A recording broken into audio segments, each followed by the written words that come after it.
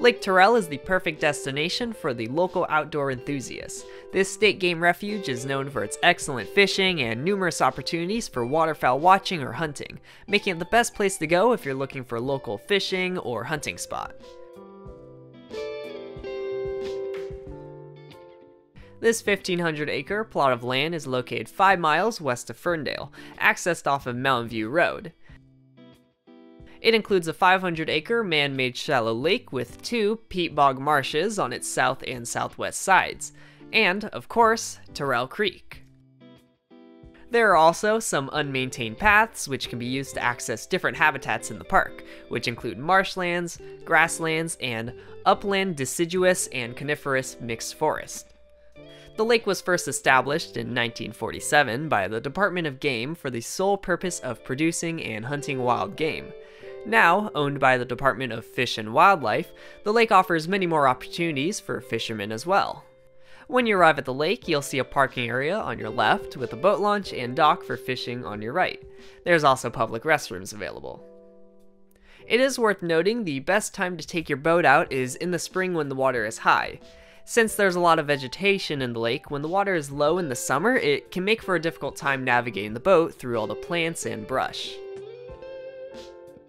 Lake Terrell boasts some of the best fishing in Whatcom County.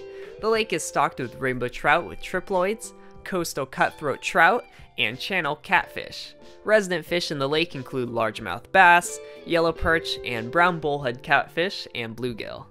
Fishing is open year round, although during the hunting season in the fall, you're not allowed to fish from a water vessel.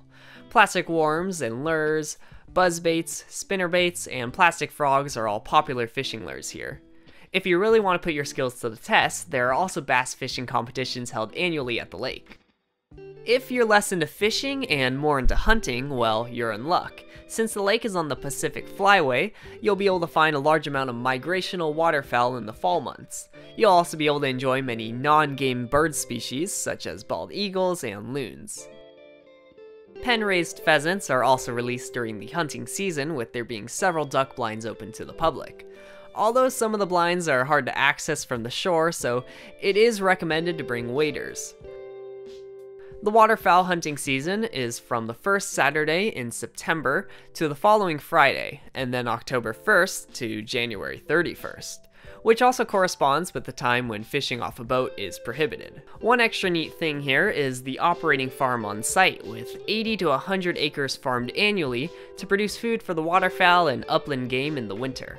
Lake Terrell is one of the more protected recreation areas that offers both great fishing and great hunting. Many seasoned visitors will choose to go to Lake Terrell because it provides many activities that would normally require much more travel to access.